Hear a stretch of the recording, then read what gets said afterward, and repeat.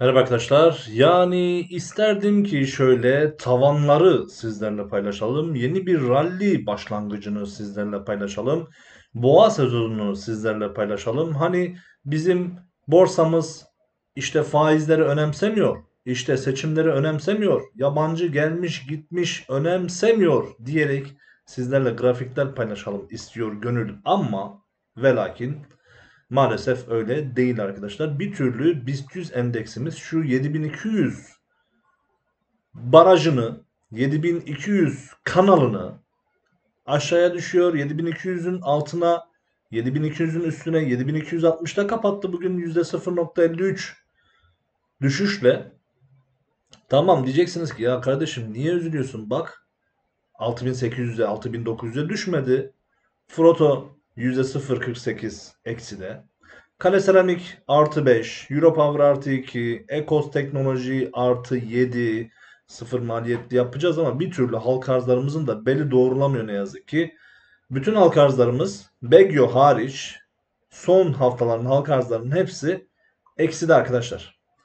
Şimdi tabanlar tavanlar. MIA Teknoloji yine tavan olmuş bugün. 6 milyon 189 bin lot tavanda alış emriyle beraber MIA Teknoloji'de bence yeni haberler gelecek. Bakalım nasıl? Tabii ki yatırım tavsiyesi değil. Smart Güneş Enerjisi dün tavan olmuştu. Bugün eksi 2'de kapattı. Hani bir sıkıntı varsa bugün de taban olması gerekiyordu. Olmadı. Yani bence tekrar toparlayacak gibi düşünelim. Tarkim bugün tekrar tavan oldu. 47 bin lot alış emri varmış tavanda. Güzel. Tarkim'in gidişatı da güzel ama çok düşmüştü o. Değil mi? Bir bakalım mı? Tarkim. Evet. Şelale düşüşü yaşamış. Baksanıza. Şuraları çizmişiz ama. Bakın. 950'lerden düşmüş. Yarı yarıya düşmüş. E, bu kadar da yükselmesin mi tekrar? Şekerbank. Bugün taban oldu arkadaşlar. Şekerin sonu hayırlı değil diyor Kingman. 15 milyon lot satış emriyle taban olmuş. İlginç. Ve gübre fabrikası 8. tabanını yaşıyor. Yani şimdi buradan bir şey söyleyeceğim de. Yazık değil mi o yatırımcıya? Belki yıllardır gübre fabrikası biriktiren yatırımcıya. Burada bir operasyon varsa çıksın ortaya. Cumhurbaşkanı Recep Tayyip Erdoğan da bunun hakkında bazı sözler söyledi. Sayın Mehmet Şimşek de Devlet Bahçeli de yine konuşuyor. Bilmiyorum nasıl olacak bu işlerin sonu ama burada bir şey var. Yahu kardeşim bedelsiz sermaye arttırımını onaylamıyorsun diye 8 gün taban gider mi ya bir hisse? Gider mi? Şuna bakar mısınız ya? Yani şuna bakar mısınız ya? Yazıktır, günahtır ya. Yazıktır, günahtır. 401 liralarda.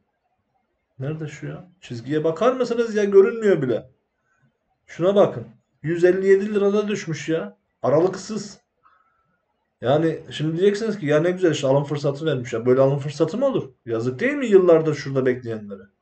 Şurada biriktirenlere, şurada alanlara yazık değil mi? Yani burada bir operasyon varsa çıksın ortaya. İadeler de yapılsın yani bir zahmet. Umuyoruz düzelir. Ne diyelim? Yani gözümüzü dört açtık. Bir yandan yabancıların gelmesini bekliyoruz. Bir yandan şu seçim de gelsin geçsin bitsin diye bekliyoruz. Bir yandan SPK'nın umuyoruz bugün bülten gelmez. Umuyoruz bültende yeni halka arz olmaz gelse bile. Umarız SPK'nın şu halka arzlara da GEO sektörü özellikle bir ara vermesi. En azından bir mola verilmesini bekliyoruz arkadaşlar yani ne diyelim. Onlarca şirket var dört gözle beklediğimiz halka arz olacak ama yani bu duruma düşeceksek de seçimden önce gelen halka arzlarda varsın gelmesin o halka arzlar. Biraz beklesinler. Biz buradayız arkadaşlar. Takip edeceğiz bakalım. Umuyoruz şu özellikle halka arz hisselerinde arz fiyatının altında olanlar tekrar bir nefes alır. Çıkar yukarıya. Umuyoruz şu 7200 dolaylarından bir artık kendimizi yukarılara doğru yavaş yavaş atarız. Biz buradayız. Görüşürüz tekrar.